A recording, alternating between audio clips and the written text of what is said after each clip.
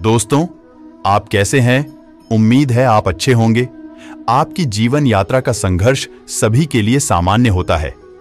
इस यात्रा में हमें अकेले होने की घड़ी आती है, जब हम किसी समस्या का समाधान ढूंढ रहे होते हैं।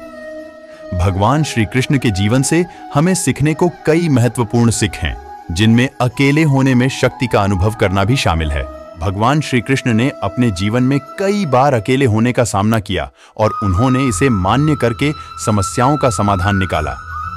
एक ऐसा उदाहरण है, जब उन्होंने गोकुल में अपने साथियों के साथ खेलते समय मक्खन चोरी करते हुए पकड़ा गया। इस समय वे बहुत ही छोटे थे, लेकिन उन्होंने अपनी अकेलापन में भी अपनी शक्ति का प्रदर्शन किया और समस्या का समाधान निकाला।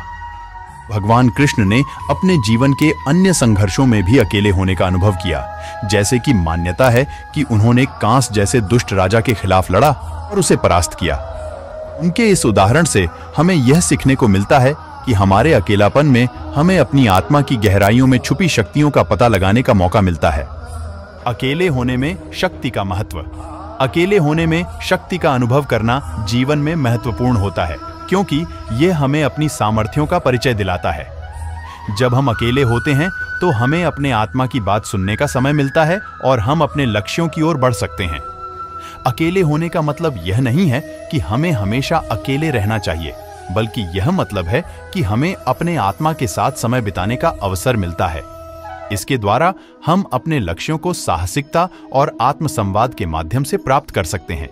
कैसे कृष्ण की तरह अकेले होने में शक्ति का अनुभव करें? एक आत्मसंवाद। अकेले होने का समय अपने आत्मा के साथ बिताएँ। आत्म संवाद करके आप अपने मन की आवश्यकताओं को समझ सकते हैं और अपने लक्ष्यों का पूर्ण निरीक्षण कर सकते हैं। दो, साहसिकता। भगवान कृष्ण की तरह साहसिक हों।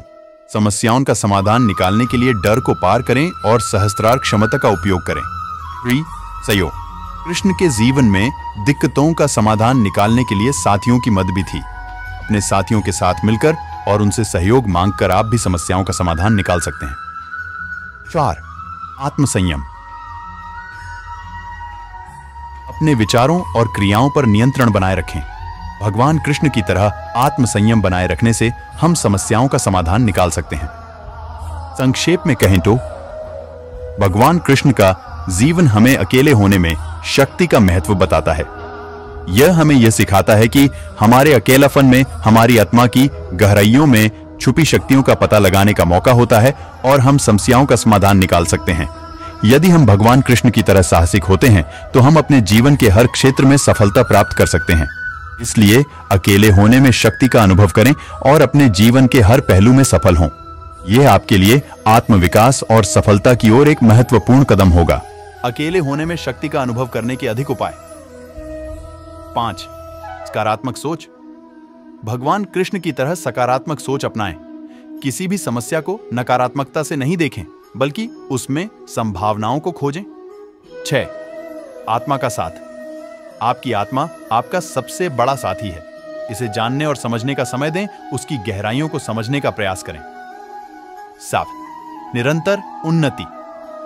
भगवान कृष्ण की तरह निरंतर उन्नति का प्रयास करें। आत्मसंयम और साहसिकता के साथ आप अपने लक्ष्यों को प्राप्त कर सकते हैं। एट, संघर्ष का स्वागत। संघर्षों का स्वागत करें, क्योंकि ये आपके अकेले होने के समय के महत्वपूर्ण हिस्से हैं। संघर्ष से ही हम सीखते हैं और समस्याओं का समाधान निकालते हैं। नौ आत्मात्मीयता। अपने आत्मात्मीयता को नष्ट नहीं करें यह आपके अकेले होने के समय को खराब कर सकता है। खुद के साथ मित्र बने और खुद की तारीखों की देखभाल करें। टेंट।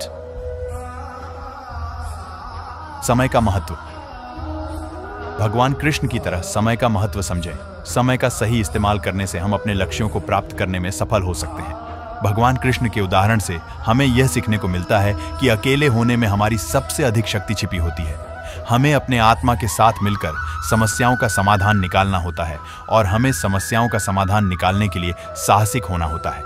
इसके अलावा हमें समय का महत्व समझना होता है और निरंतर उन्नति का प्रयास करना होता है।